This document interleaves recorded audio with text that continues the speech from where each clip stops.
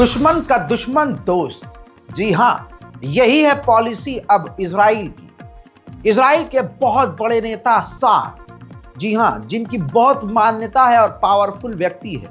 इसने अब एक सभा को संबोधित करते हुए कहा कि अपने देश को, हमारी सरकार को ईरान के दुश्मनों के साथ हाथ मिलाना चाहिए। हज़रत मोहतरम कुर्द। कुर्द वो लोग हैं जो ईरान में पाए जाते हैं। बॉर्डर के इलाकों पर वो रहते हैं। और ख़ास कर वो तुर्की पर भी हमला करते हैं और यही कुर्द सीरिया में भी मौजूद हैं। तो सार ने कहा कि इन कुर्द के साथ हमें गहरे और मज़बूत रिश्ते बनाने चाहिए। कुर्द के साथ साथ एक और ग्रुप है द्रूजी। उसको द्रूजी भी बोलते हैं दुर्ज भी बोलते हैं। ये संगठन स्पेशली ये ग्रुप, ये मिलिट्रियन ग्रुप खासकर सीरिया में है, जो सीरिया की गवर्नमेंट के खिलाफ है।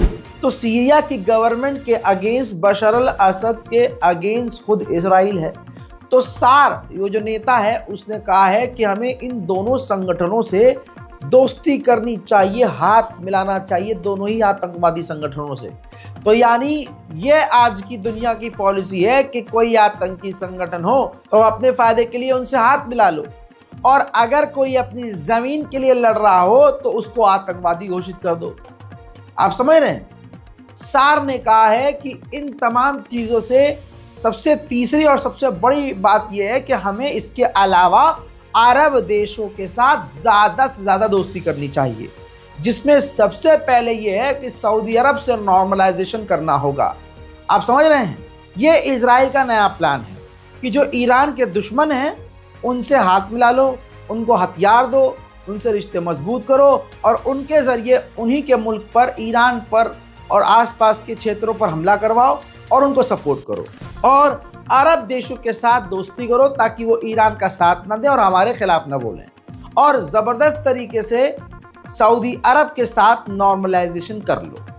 और मोहम्मद बिन सलमान तो आप जानते हैं, तड़प रहा है अगला इंसान की कैसे भी नॉर्मलाइजेशन हमारा इसराइल के साथ हो जाए। मेरे दोस्तों, यही वो कुर्द हैं जिनको पी के के भी कहते हैं। पी के के ये पी के के संगठन तुर्की पर भी ज़्यादातर हमला करते हैं।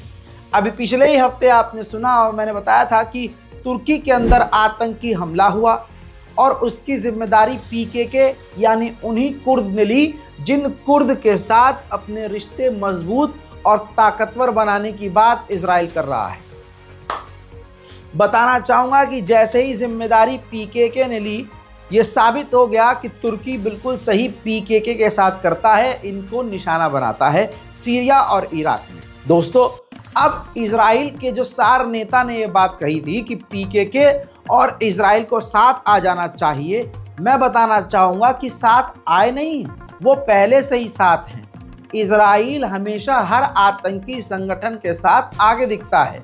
जर्मनी के अंदर जो पीकेके के संगठन के सपोर्टर्स लोग हैं, जो पीकेके के कुर्द लोग हैं, वो प्रदर्शन कर रहे थे तुर्की के खिलाफ। उस प्रदर्शन में कुर्द के झुंड के साथ इसराइल के झंडे भी नज़र आए। यानी यहूदी पहले से ही, ये तो बोल सार अब रहा है, लेकिन यहूदी इन कुर्द आतंकियों के साथ पहले से है। इसराइल और कुर्द के झंडे साथ जर्मनी में देखे जा रहे हैं। देखिए।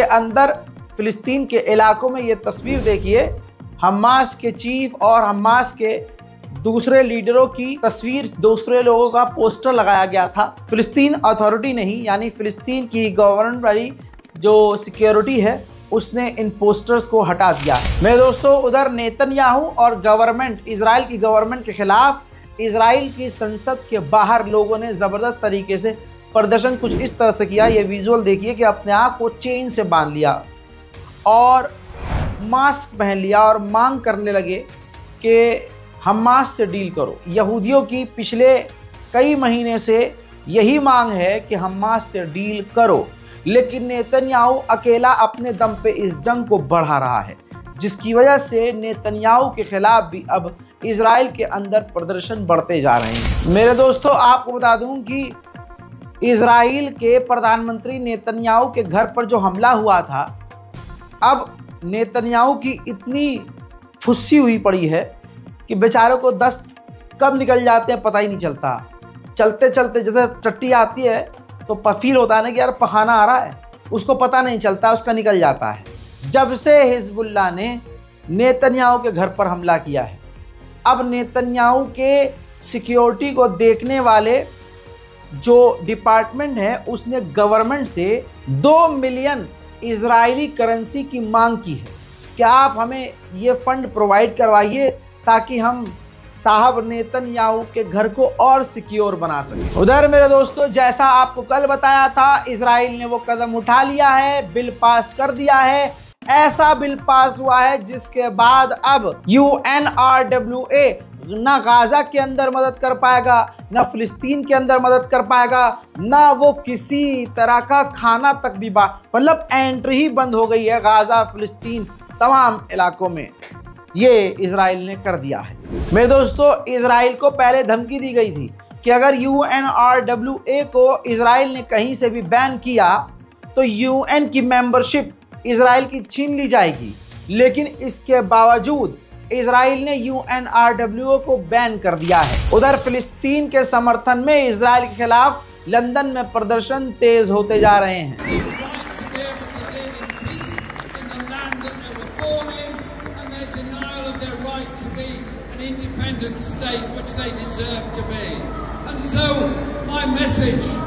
to our government, my message to our media is you can say what you like, But until you hold the arms supplies, until you are serious about supporting the Palestinian people, we're going to be here in Whitehall, in Birmingham, in Glasgow, in Edinburgh, in Newcastle, in Bristol.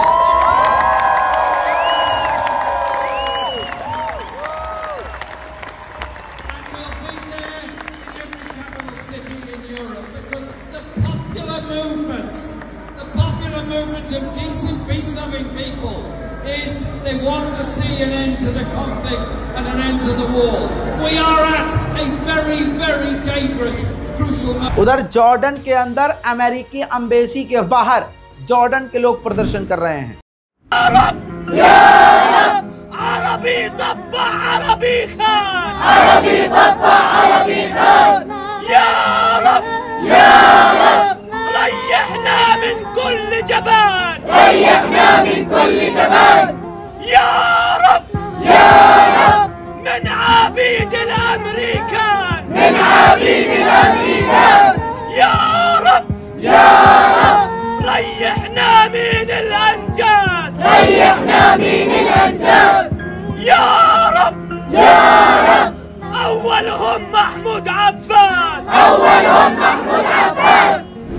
वहां ले चलूं Canada तो Canada में भी Israel के खिलाफ प्रदर्शन जारी।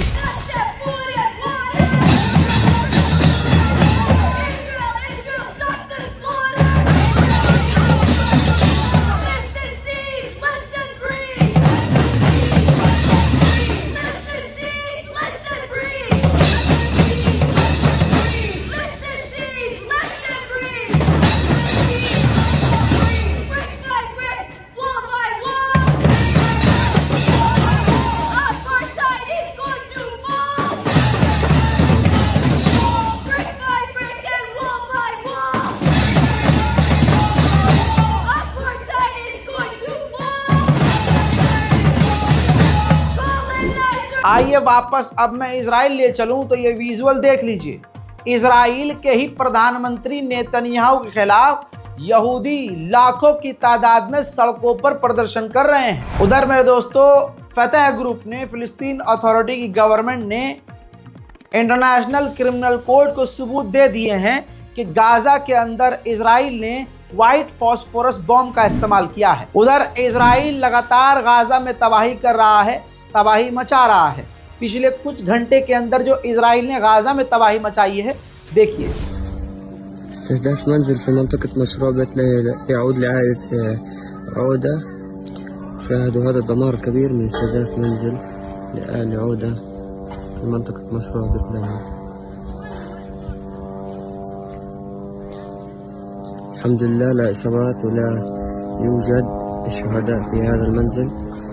उधर लेबनान ने भी इंटरनेशनल क्रिमिनल कोर्ट में और यूएन में कंप्लेन फ़ाइल की है इसराइल के ख़िलाफ़ कि इसराइल ने पत्रकारों को भी लेबनान में निशाना बनाकर कत्ल किया है। फिर दोस्तों, फ़िलहाल की इस रिपोर्ट में इतना ही। इस बार कोड का इस्तेमाल गाज़ा और फ़लस्तीन की मदद के लिए कीजिए।